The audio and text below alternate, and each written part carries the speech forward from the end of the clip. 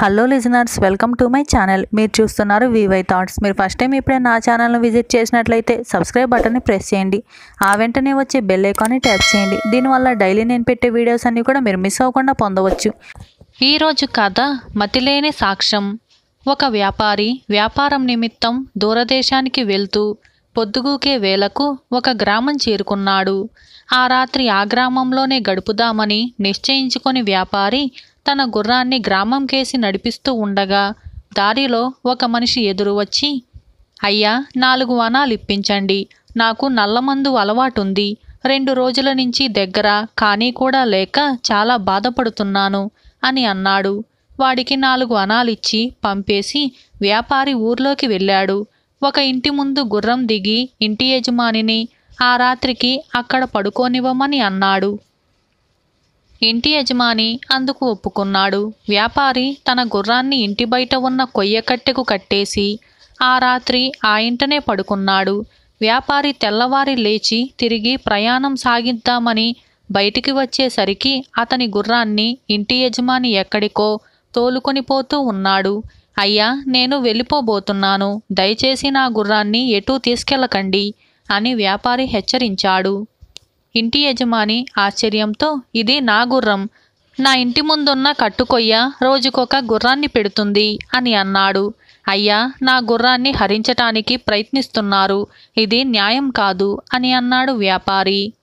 నా మాట నమ్మకం లేకపోతే ఈ ఊళ్ళో ఎవరినైనా అడుగు. మా ఇంటి కట్టుకొయ్య రోజుకొక గుర్రాన్ని పెడుతుందని అందరికీ తెలుసు అని అన్నాడు ఇంటి యజమాని. ఆ మనిషి పచ్చి దొంగ. ఆ ఊళ్ళో చాలామంది అతనిలాంటి వాళ్ళే తెలియక పొరుగురివాడు వస్తే అందరూ కలిసి మోసం చేస్తూ ఉంటారు. అందుచేత అందరూ ఆ యజమాని చెప్పిన దాన్నే బలపరిచారు. ఇక చేసేది లేక వ్యాపారి గ్రామాధికారి వద్దకు పోయి ఇంటి యజమానిపై ఫిర్యాదు చేశాడు. గ్రామాధికారి ఇంటి యజమానిని పిలిపించి అడిగాడు. చిత్తం మా ఇంటి కట్టుకొయ్య రోజుకొక గుర్రాన్ని పెడుతుందండి. కావాలంటే బోలెడు మంది చేత సాక్ష్యం ఇప్పించగలను అని అన్నాడు ఇంటి యజమాని. ఏమయ్యా ఈ గుర్రం నీదేనని నీకెవరైనా సాక్షులున్నారా? ఉంటే తెచ్చుకో అని అన్నాడు గ్రామాధికారి వ్యాపారితో. కిందటి సాయంకాలం నల్లమందు కోసం తన వద్ద నాలుగు గణాలు పుచ్చుకున్న మనిషి సంగతి జ్ఞాపకానికి వచ్చి వ్యాపారి అతన్ని వెతుక్కుంటూ వెళ్ళాడు. ఈలోగా ఇంటి యజమాని కూడా తన వైపు సాక్ష్యం చెప్పేవారి కోసం తీసుకురావటానికని వెళ్ళాడు. వ్యాపారి దగ్గర నాలుగనాలు పుచ్చుకున్న మనిషి నల్లమందు మత్తులోనే ఉన్నాడు. వ్యాపారి ఆ నల్లమందు అతన్ని కష్టపడి పైకి లేపి తనకు జరిగిన అన్యాయాన్ని గురించి చెప్పాడు. అది వినగానే ఆ నల్లమందు బాయి వ్యాపారి వెంట న్యాయాధికారి ఉన్న చోటుకు వచ్చాడు. అప్పటికే ఇంటి యజమాని తన సాక్షులను తెచ్చి న్యాయాధికారి ఎదుట పెట్టి తన ఇంటి కట్టుకొయ్య రోజుకొక గుర్రాన్ని పెడుతుందని సాక్ష్యం చెప్పిస్తూ ఉన్నాడు. నల్లమందు బాయిని చూడగానే ఇంటి యజమాని సాక్షులు బిగ్గరగా నవ్వి వెతికి వెతికి ఈ నల్లమందు బాయిన సాక్ష్యంగా తెచ్చావు? వీడి మాట ఎవరు నమ్ముతారు? అని వ్యాపారిని చూసి గేలి చేశారు. మత్తు పూర్తిగా పోక ఆవలిస్తున్న నల్లమందు బాయిని చూసి గ్రామాధికారి కూడా ఏమయ్యా బాగా నల్లమందు మత్తులో ఉన్నట్టున్నావు? అలాంటి నీ సాక్ష్యం ఎలా ఆమోదించేది? అని అన్నాడు. దానికి నల్లమందు బాయి తడువుకోకుండా అయ్యా నేను మత్తులో లేను. రాత్రల్లా చెరువు అడుగున మంట చేసి చెరువులో చేపల్ని ఉడకపెట్టాను. కన్ను మూస్తే ఒట్టు అందుచేత నిద్ర మత్తుగా ఉంది అంతే అని అన్నాడు. ఈ మాటకు అందరితో పాటు గ్రామాధికారి కూడా నవ్వి నీది మతిలేని సాక్ష్యమని నీ మాటలే రుజువు చేస్తున్నాయి. చెరువు కింద ఎవరైనా మంట చేస్తారా? అని అడిగాడు. అదేమిటండి? కట్టుకొయ్యలు గుర్రాలు పెట్టంగా లేనిది చెరువు కింద మంటలు పెట్టడం అబ్బురమా? నాదా మతిలేని సాక్ష్యం? అని అడిగాడు నల్లమందు బాయి. ఈ మాటకు గ్రామాధికారి సిగ్గుపడి వ్యాపారి గుర్రాన్ని వ్యాపారికిప్పించి ఇంటి యజమానిని గట్టిగా హెచ్చరించాడు. ఈ విధంగా మతిలేని సాక్ష్యం అనే ఈ కథ సమాప్తమైంది. ఈ కథను రాసిన వారు టి. నాగరాజు. అలాగే మరొక మంచి కథ కాకి అరుపుకు కారణం. భోజరాజు సాహిత్య ప్రియుడు కవి పండితులను ఘనంగా సత్కరించేవాడు. తనకు నచ్చేలాగు కవిత్వం చెబితే అక్షరలక్షలిచ్చేవాడు అందుచేత అతని రాజ్యంలో దాదాపు అందరూ కవులే చిన్నపిల్లలు సైతం పండితులే. అనాదిగా కాశీ పండితులకు దేశమంతటా గొప్ప ఖ్యాతి ఉండేది. కానీ భోజరాజు పరిపాలనలో దారానగరపు పండితుల ఖ్యాతి పైకి వచ్చింది. రాను రాను దేశంలో కాశీ పండితులను తలుచుకునేవారే లేకుండా పోయారు.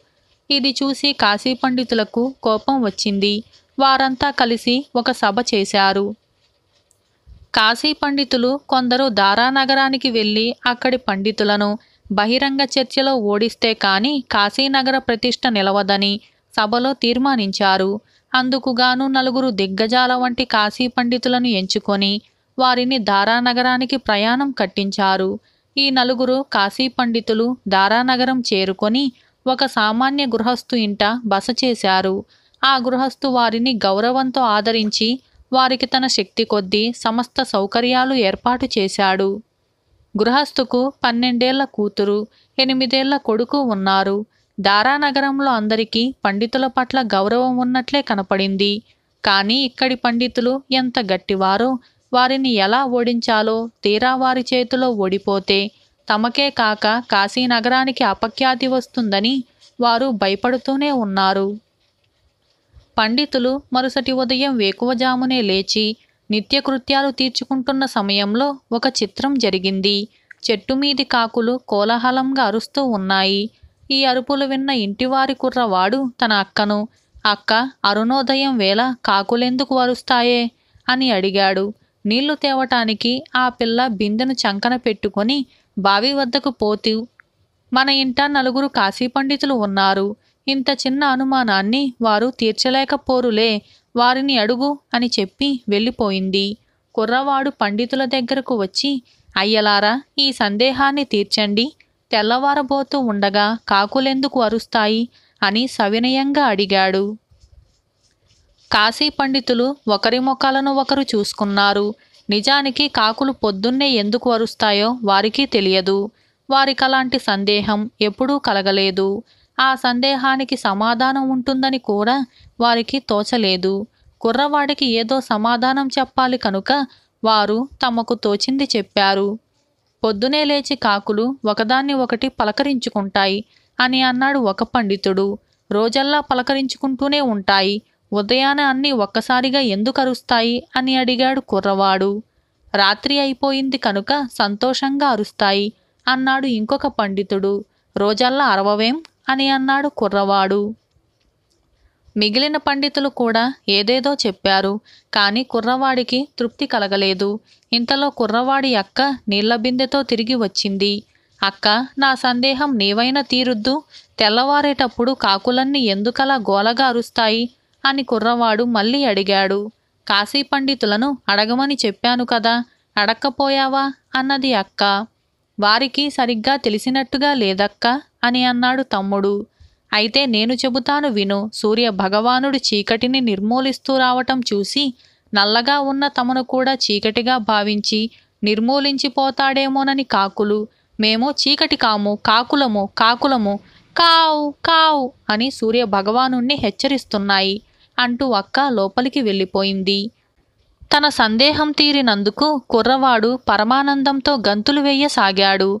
ఇదంతా వింటున్న కాశీ పండితులు ఒకరి ముఖాలనొకరు చూసుకున్నారు. ఇంకా పెళ్ళైనా కాని సామాన్య గృహస్థు కూతురికే ఇంత ప్రజ్ఞ ఉంటే ఇక ఈ దేశపు పండితుల ముందు మనమెంత? అని వారిలో వారు వితత్కరించుకొని ఆ పోటే కాశీనగరానికి ప్రయాణం కట్టి వెళ్ళిపోయారు. ఈ విధంగా కాకి అరుపుకు కారణం అనే ఈ కథ సమాప్తమైంది. ఈ కథను రాసిన వారు బి. వేణుగోపాలరావు. ఇటువంటి మంచి మంచి కథల కోసం ఇప్పుడే మా ఛానల్ని లైక్ చేయండి షేర్ చేయండి సబ్స్క్రైబ్ చేయండి.